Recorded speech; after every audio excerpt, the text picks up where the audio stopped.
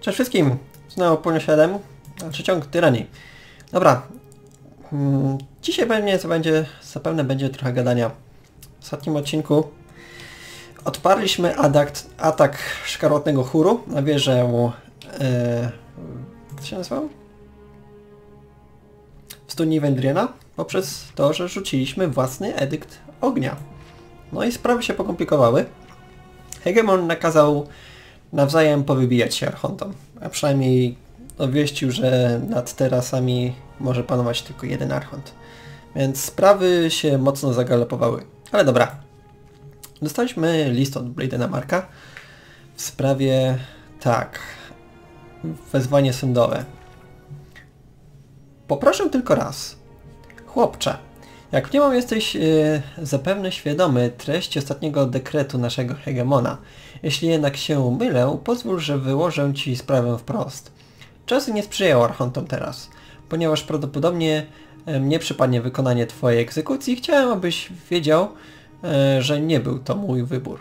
Choć gdybym mógł wybierać, myślę, że również zdecydowałbym e, się przy... zdecydowałbym się przynieść śmierć. Do zobaczenia wkrótce. Hmm.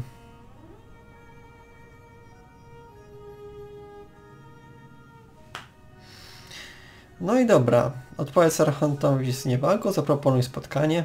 Odpowiedz z grzecznym i uprzejmym tonie. W sumie możemy zaproponować spotkanie, ale nie wiem co miałoby z tego wyniknąć. Okej, okay, zobaczmy. Szacowny Archoncie Cieni, jeśli już mam ponieść śmierć z Twojej ręki, wolałbym umrzeć w bitwie, w walce twarzą w twarz, czy też y, w Twoim przypadku twarzą w cień.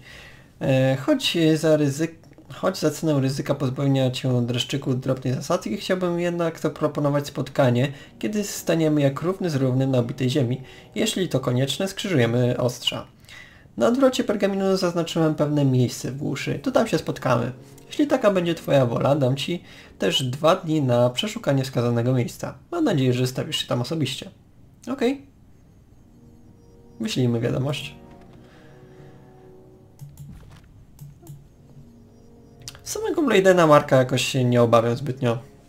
Oczywiście wiadomo, że on może zaatakować w każdym momencie dnia i nocy, więc generalnie mógłby zasztyletować Janusza, kiedy ten będzie spał. Ale cóż, jakoś się nie obawiam walki z nim, przynajmniej na razie. Hmm. Może stałeś archontem, próbowałeś nadal wzywać się na spotkanie w żelaznym domostwie. Tunon wezwał cię, aby osądzić twoje czyny w terasach. Okej. Okay. A co z sądem, z procesem archontów? Tunon wezwał cię do sądu. Wkrótce będziesz mógł przedstawić dowody przeciwko jednemu z archontów. Hmm, okej. Okay. Więc to pewnie podczas osta ostatecznego sądu to będzie się działo. Okej, okay, może przejrzyjmy teraz jeszcze raz te dowody. Więc tak. E, skarceni chcieli uzyskać dostęp do starych murów bliźniaczych rzekach. Skarceni chcieli zdobyć zagubione, zagubione starych murach insygnia niezłomności. Wysłali cywili, żeby udał się do starych murów. Siłom zgardzonych brakowało kompetencji lub liczebności, aby zdobyć szarą war warownię, co dowodzi, że Asz nierozsądnie kieruje wojskiem nawet na własnym terytorium. Córka Asza była w zmowie z regentem niezłomnych i urodziła dzieciczkę Krzepy. W czasie podboju Asz wysłał swoich żołnierzy na kamienną strażnicę, mimo że wiedział o nieuchronnym nadchodzącym edykcie. Przed i w czasie podboju grobowy Asz działał kierując się głęboką niechęcią wo wobec głosów Nerata. Maryk, dowódca zwiadowców zaprzeciążonych, utracił kontakt ze swoimi żołnierzami w księżnicy. Zakarceni próbowali uniemożliwić operację szkarłatnego chóru w Kamiennym Morzu, formalnie podlegającym głosom Nerata. Okej, okay. a co mamy przeciwko głosom Nerata? Well. Grobowy aż ma na siebie więcej dowodów. Okej. Okay. W czasie podboju Szkarłatny Chór chciał posiąść wiedzę pojmanych mędrców. Szkarłatny Chór wspomógł niezłomnych w czasie wojny domowej. E, pomimo zakazu zębate Remidium wcielał w szeregi Szkarłatnego Chóru żołnierzy niezłomnych. E, głosy Narata przy pomocy e, hierarchia spiżowego dostarczył broń gwardii wędriańskiej. W płonącej księżnicy cezarka poszukiwała zakazanej wiedzy cichego archiwum. W czasie boju głosy Narata dostarczył obrońcom krzepy plany wojskowych zgardzonych. E, Paskudny szept torturował zgardzonych przed wybuchem wojny domowej. Tak, więc myślę, że myślę, że dowody przeciwko głosom Nerata są dużo bardziej e, jedno, jednoznaczne. Tak, oni zdecydowanie już przed nad podbojem knuli przeciwko, e, przeciwko wzgardzonym. W trakcie podboju przeszkadzali im, a nawet wspierali e, wiarołomców oraz buntowników. Natomiast zgardzenie co zrobili e, tak, kilka dziwnych decyzji taktycznych, między innymi e, posłanie swoich ludzi na pewną śmierć, e, brak, kilka przypadków braku koordyna koordynacji oraz kilka akcji jak dostęp do starych murów, których nie można za bardzo wytłumaczyć, czym się, e, czym się, czym się kierowali. Ale to nie są generalnie... Hmm. Nie są to jakieś no, tak, twarde dowody. Więc kiedy się udamy do sądu, będę, będę zeznawał przeciwko głosom Nerata. Uważam, że dowody na nich są dużo bardziej solidne. No to myślę, że idziemy. Nie ma, nie ma co czekać. Do miasta niechcianego i do sądu Tonona. Ciekawi mnie również, jak on oceni nasze poczynania e, w terasach ostatnie.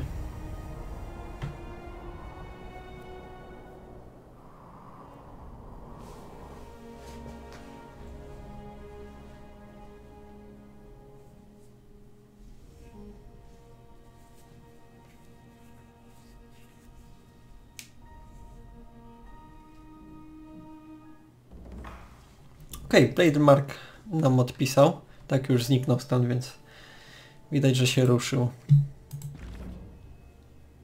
Oto moje warunki. Spotkamy się sam na sam i wyciągniemy ostrza. I żeby mi nie było potem płaczu, kiedy wykolę ci oboje oczu. Sprawdziłem już polankę, którą wskazałeś w liście. Przybądź, jeśli łaska, ukażę ci swoje szacowne oblicze.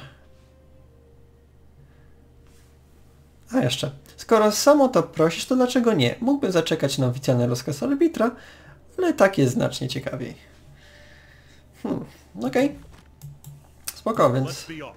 Myślę, że zajmiemy się najpierw innymi rzeczami, a Bladenem Markiem zajmiemy się troszkę później. Ponieważ zdobędziemy w ten sposób jeszcze troszkę siły, bądź innych rzeczy. E, skoro mamy się bić z nim sam na sam, to lepiej się troszkę podszkolić. Ok, w dniu dzisiejszym nie będzie już więcej posiedzeń w sprawach możemy uznać sąd za zamknięty. To skandal, że damy, by sąd nas wysłuchał. Ta decyzja nie podlega dyskusji. Strażnicy wyprowadźcie wszystkich na zewnątrz.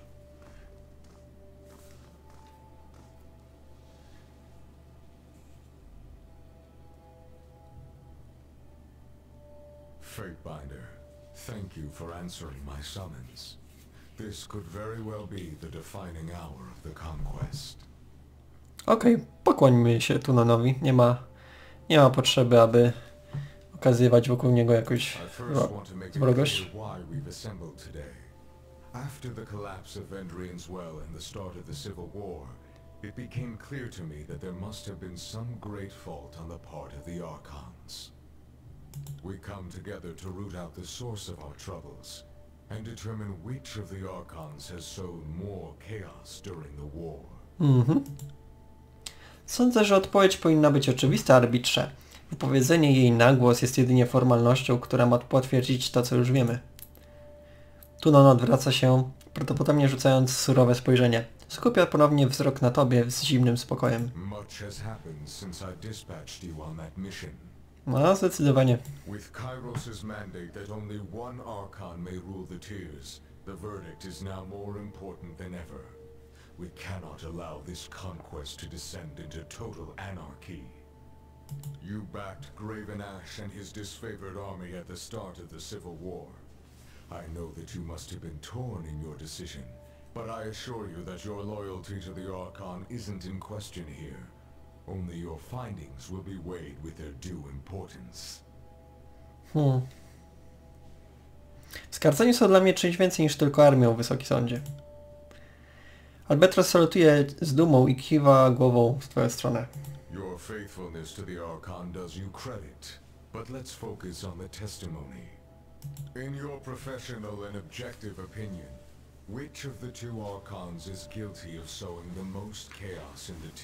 Okej, ciekawe. Mamy opcję, żeby obaj są winni, należy ich stracić. Ale...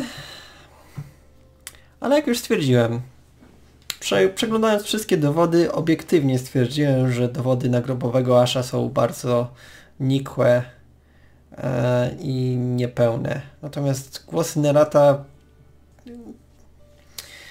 tak, obiektywnie spiskował przed wojną, w trakcie wojny i pomagał przeciwnikom Kyrosa, więc, więc je, jego obarczmy winą. And so the charges are declared. I'm confident you've come with prepared arguments and research, as is expected of your station. Tak. Nie będę stać bezczynnie słuchając bezpodstawnych oskarżeń. In accordance to Kairos' legal custom, you will state the crimes against the Archon and offer up your evidence. The court will weigh your claims on their merits.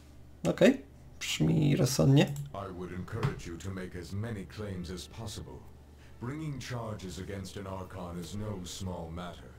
They are not accountable to Kairos' laws with the same rigidity as an average citizen,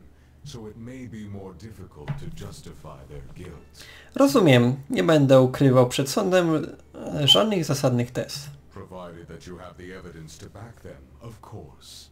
To make a claim lacking evidence will only harm your case in the court's eyes. Is this understood? Tak, oskarżenia będą wspierane faktami. Niewątpliwie pamiętasz, za jakie wykroczenia możesz pociągnąć archontów do odpowiedzialności. Są to zdrada, niekompetencja, zbrodnia wojenna i gromadzenie zakazanej wiedzy.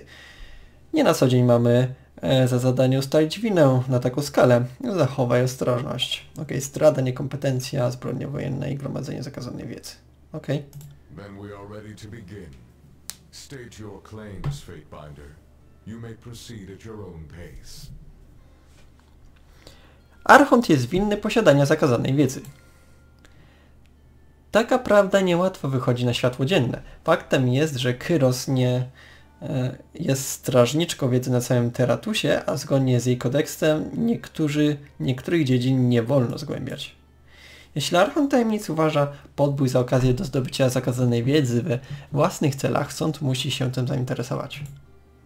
Przedstaw swoje ustalenia, stanowicielu. Hmm.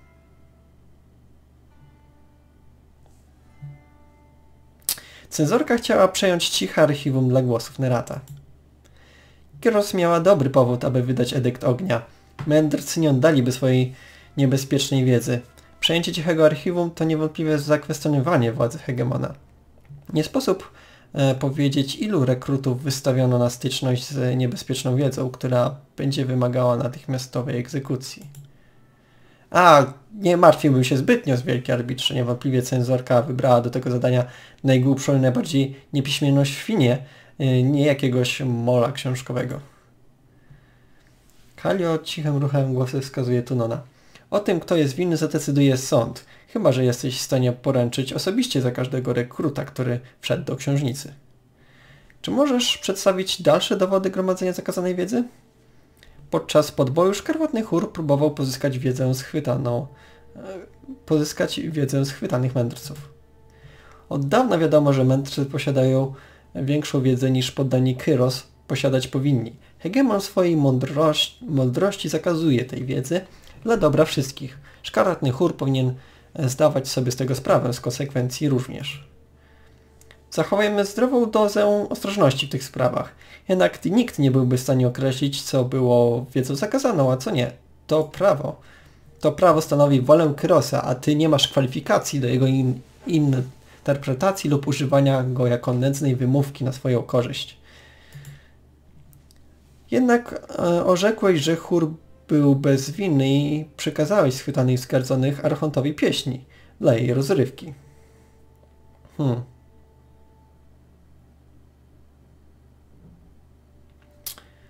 Okej. Okay.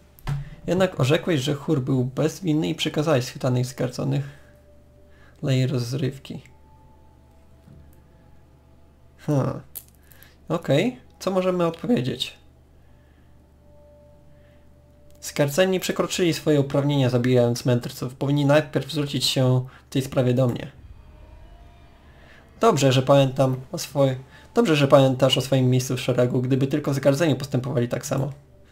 Czy możesz przedstawić dalsze dowody gromadzenia zakazanej wiedzy przez Archonta? Przedstawiałem już dość dowodów na poparcie tego zarzutu Wysoki Sądzie. W takim razie, jeśli to wszystko, to powinniśmy wrócić do innych oskarżeń. Oskarżam Archonta o plugawą zdradę. Zdrada to poważne oskarżenie wobec Archonta. Jeśli jednak uważasz, że głosy Narata współpracował z nim przyjacielem, mów dalej. E, Przedstaw swoje ustalenia, stanowicielu. Głosy Nerata przekazał obrońcom krzepy plany bitewne zgardzonych. Pi, z tej krainy nie sposób wydobyć jakiekolwiek wiarygodne dowody. Jeśli nad, coś się znajdzie, to pewnie pomazane lub podarte i nieczytelne. Ci się znaleźć dowody takiej zbrodni? Zdobywające, że Archon Tajemnic pozwoliłby cokolwiek wpadło w niewłaściwe ręce, ale krzepa znajduje się poza jego zasięgiem. Po prostu fascynujące. Czy posiadasz dalsze dowody potwierdzające zdradę? E, Harchanic Spiżowy na rozkaz głosów przemycał żelazny oręż do gwardii wędrieńskiej. Wobec tego zdrada Archonta Tajemnic sięga głębiej niż sobie wyobrażałem. Obawiam się, że wieści te uderzają mocno w naszą ofensywę. Dziękuję, że mnie poinformowałaś. Czy posiadasz dalsze dowody? Szkarłatny Hurs pomógł niezłomnych podczas wojny domowej. Przy zwłokach e, nieprzyjaciela znalazłem rozkład patroli zgardzonych, przekazanych przez agentów chóru. Kiedy przedstawiasz dowody, szef bandy chórzystów przełyka ślinę z rosnącym zaniepokojeniem zerka na Tonona. Dokumentacja jest rzadkim towarem podczas wojny, kiedy yy, rządzą zamęt i chaos. Sąd dopuszcza ten dowód zdrady. Nie mam dalszych zarzutów zdrady, Wysoki Sądzie. Okej. Okay.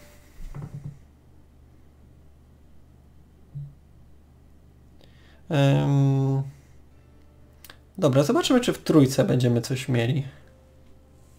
Nie pamiętam wszystkich dowodów, więc możemy coś y, popsuć, ale, ale zobaczmy. Głosy Narata ma tendencję do interpretacji kodeksu Kyros tak, by mu odpowiadała, ale mam nadzieję, że praktyka ta nie wymknęła mu się spod kontroli. Hmm, opowiedz o tych zbrodniach. Zybate Remedium werbował niezłomnych, chociaż zakazano im wstępu. To narusza terytorium krzepy, do której prawa rości sobie grobowy aż. Wskazuje to na pogardę dla działań zgardzonych. Przychod czy przychodzą Ci do głowy jakieś inne zbrodnie wojenne? Znalazłem zapis przesłuchania i tortur dokonanych przez paskudny szept. Odnotował okrutne traktowanie schwytanych zgardzonych jeszcze przed wojną. Potworność moich rodaków pomścić może jedynie potężne uderzenie młota sprawiedliwości. Oczytanie szeptu jest co najmniej niepewne. Nie, nie pamiętam nawet daty własnych urodzin, a co dopiero datę przesłuchania. Szokujące. Nie tylko same czyny, co bezczelne lekceważenie ładu, jakby Archont dworował sobie z nas, z nas z oddali. Czy przychodzą Ci jeszcze jakieś inne zbrodnie wojenne? Nie. Okej, okay, zobaczmy czy w dwójce coś jeszcze będziemy mieli, nie pamiętam. Głos Nerata już był kiedyś oskarżony niekompetencji, ale zawsze zdołał dowieść, że jest zdolnym dowódcą. Znakomitym strategiem. Ciekawi mnie, jakie dowody wykażą co innego. Mów dalej. Cenzorka w płonącej księżnicy zamieniła swoją misję w potworną zabawę. Potężny Tunonie. Miałem wrażenie, że Archont może kierować swoim wojskiem w sposób, jaki uważa za właściwy i że konkurs niczym nie ustępuje zwykłej ekspedycji, jeśli zadanie zostanie wykonane. Nie, jeśli w grę wchodzą cenne zasoby, a Archont marnuje je dla zbędnej rozrywki, oddalam argument. Hmm. Okej. Okay. Okej, okay, czyli przy, przydała się przychylność. Oddala argument, ale ich, więc przychyla się do mnie. Kyros traktuje wiedzę z cytadeli pergaminu bardzo poważnie, podobnie jak ja. Jeśli oficer głosów potraktował rozkazy jako źródło rozrywki, źle to świadczy o Archoncie. To wszystkie dowody. Ok, przedstawiłem swoje ustalenia najlepiej jak potrafię, Wysoki Sądzie. Have weighed your evidence against the charges. E. The court of Tunon the Adjudicator, Archon of Justice, and Counsel to Kairos the Overlord, finds the voices of Nerat guilty of sowing chaos, flaunting his authority, and using a time of war to advance his own twisted ambition. The sentence is death. Yeah! Dobra. Dostaliśmy achievement. Mowa oskarżyciela. Przekonaj Archonta w sądzie Tunona. Stań się doświadczonym arbitrem. Nie, to chyba jeszcze nie ma. Dobra. Więc, więc skazaliśmy głosy Nylata, no. Jak ci się to podoba? Czy to parodia procesu? Zarzuty to wymysły skierowane przeciwko mojemu panu. Nie zamierzam ich słuchać. Okej, chyba zaraz będziemy musieli ich pozabijać. Sąd Tunona wydał werdykt tyropijący w rzadzie. Radzać milczeć. Zgodnie z kodeksem Kyrosa, sądowy egzekutor doręczy wyrok naszemu byłemu... sądowy egzekutor doręczy wyrok naszemu byłemu koledze i wykona go. Wzywam Bladena Marka. Tunon uderza młotem o posadzkę. O, siema, Mark. Bladen Mark. Cienie gęstsze niż krew kłębią się złowieszczo. Rozbiegają się wygładzone, ogarnięte salą tronową od ścian, podchodzą coraz bliżej, aż w końcu na krótką chwilę nawet powietrze ciemnieje. Wtedy światło gaśnie. Po chwili wraca, wraz z nim pojawia się Bladen Mark. Archon skrytobójca stojący przed tobą, odziany w płaszcze cienia. Śmiercionośny, połyskujący sztyletami i białymi zębami, obdarzonymi w uśmiechu. Chłopcze! Arbitrze! Kogóż mam na moje ostrze dziś... Kogóż ma moje ostrze dziś zabić? Tych co zwykle? Czy kogoś nowego? E, Masz dokonać egzekucji głosów. Hmm, mamy opcję, że sami chcielibyśmy dokonać egzekucji. Okej, zobaczmy. W sumie to sam chciałbym dokonać egzekucji. Widzisz, właśnie dlatego cię lubię, chłopcze. Jesteś taki elastyczny. Nie daj się zabić, albo będę musiał cię potem stąd e, zbierać. Sąd e, bardziej potrzebuje dobrych prawników niż katów, ale wyrażam zgodę na twoją zachciankę, o ile nie stanie ona w prze- sprzeczeniu z twoimi obowiązkami. To on patrzy na ciebie, to na Bladena Marka, przez chwilę, chwilę sprawdza wrażenie zaniepokojonego. Wręcz nakaz egzekucji winowajcy i, i dokona jej zgodnie z wolą sądu. Najpierw jednak jest jeszcze petent ślepo podążający za zbłąkanym mistrzem. E, że co? Arbiter zwraca się ku przedstawicielom skarconej i szkarłatnego chóru. Pomimo niezruszonej maski nie sposób nie odczuć jego świdrującego spojrzenia. Co, co mogę dla ciebie zrobić, potężny Tunonie? Umrzeć? Biorąc pod uwagę ustalenia sądu, uznaję cię za winnego współudziału w zbrodniach głosów Nerata. Podczas jego występków miałeś czelność reprezentować szkarłatny chór w mojej świątyni prawa. Jaki będzie jego los, mój uczniu? Dowiodłeś winy głosów. Możesz zrobić z jego sługą co chcesz. Hmm. Możemy go stracić? Albo zdegradować.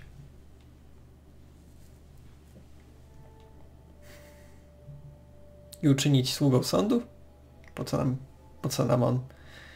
E, domyślam się, że jedna z opcji pewnie nie spodoba się Tononowi, ale dobra. Stracić go. Jego pan wkrótce do niego dołączy.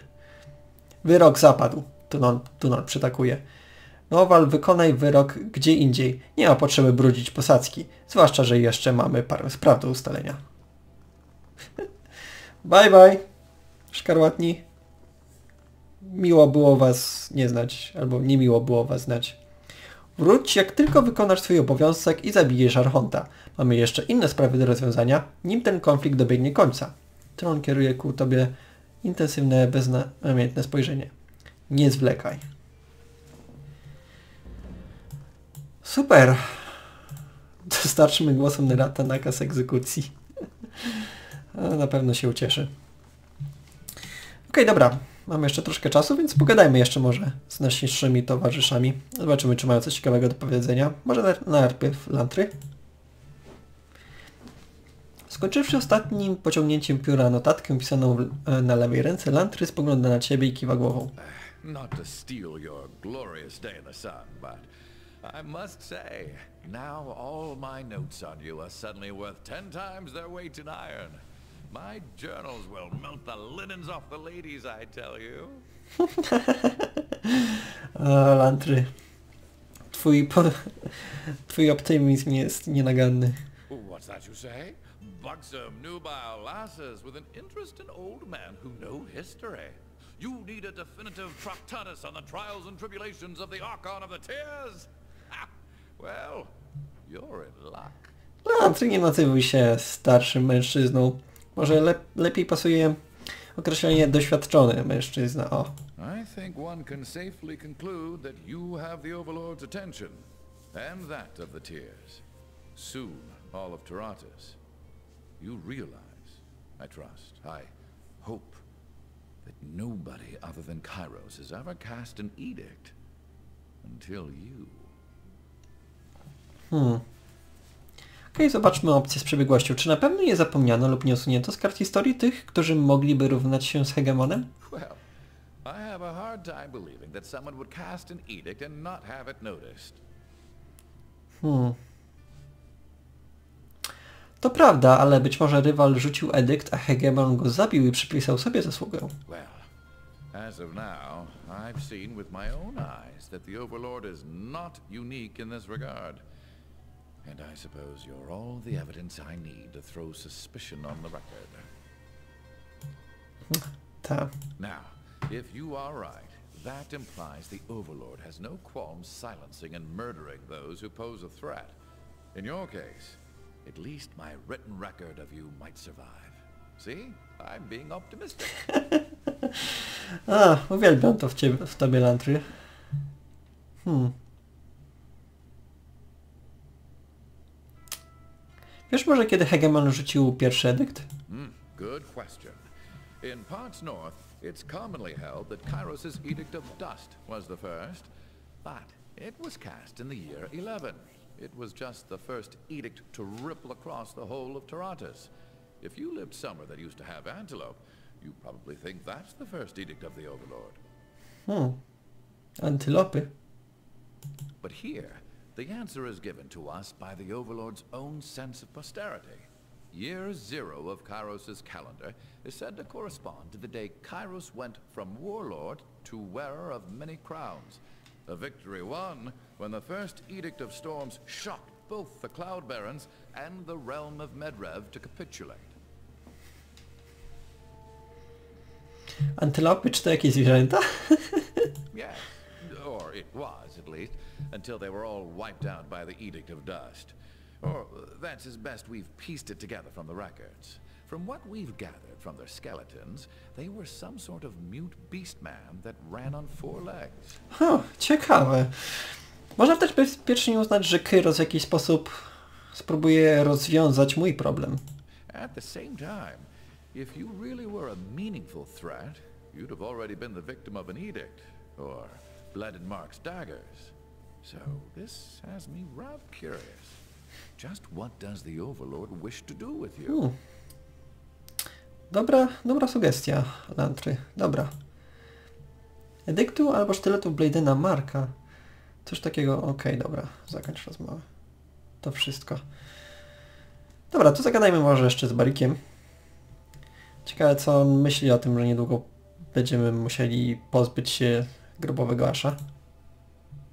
Ledwo mogę w to uwierzyć. Ogłosiłeś edykt. Posłużyłeś się mocą hegemona.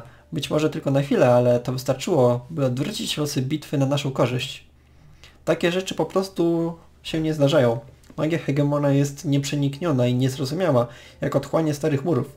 Jest... Um, chciałem powiedzieć, że jest tak niedostępna, jak wierzę, ale za twoją sprawą to porównanie straciło aktualność. Hmm.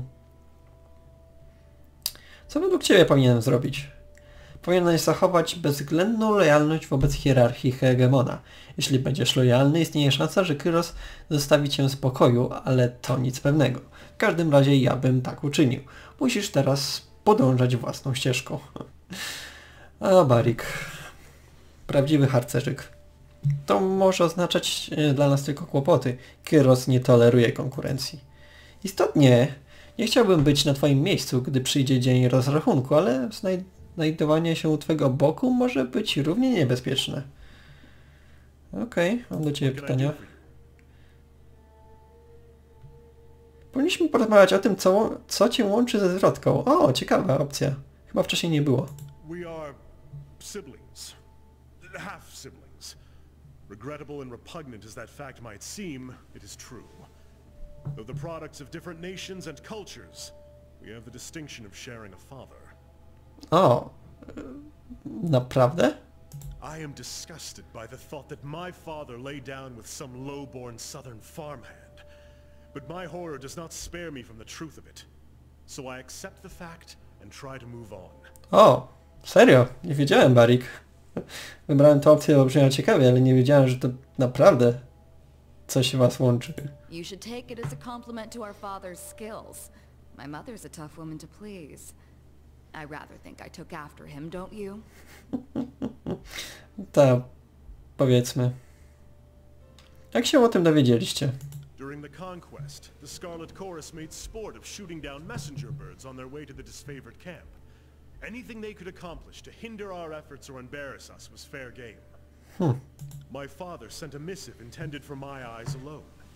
By incredible chance, Verse intercepted it and recognized the name and handwriting. She found me in camp that evening, and we discussed our unlikely situation. We've done everything in our power to keep the word quiet. Not many in the Legion know that I share blood with a Southerner, much less a chorus rat. Ta. Don't worry, Barrack. When my old gang boss caught wind of our discovery, I killed her and took the gang for myself. Our secret's safe with me. It was, anyway. Czy wy się chociaż lubicie? Not particularly. She is unstable at the best of times, and a hardened killer at the worst. I don't know what her family did to her, but she lacks any pretense of human decency. Nawet nie próbuję zachować pozorów. Świetnie, Barik. It takes one to know one. Don't act like we're so different, Barrack. You're the most repressed and intolerant soldier I've ever met. You hide it under duty and pride, but it's still there. Jaki miało to na ciebie wpływ, Bariku? Well, Verse has a nasty habit of jabbering in my ear and making this war intolerable. I plan on parting ways and returning to the north at first convenience. My father will answer for his infidelity. No, brawo, Bariku. Męska decyzja. Beyond that, I am happy to consider myself in every way unaffected. My superiors once accused me of having an impulsive streak, but I have worked to suppress it at every turn. Idealny żołnierz, idealny. When you go back home, send father my fondest greetings and thanks. If he hadn't gone to ground on my mother's dry dock, I might not be here today. Ta. My heritage was a point of pride and distinction before I met you, Verse. Not that you would care.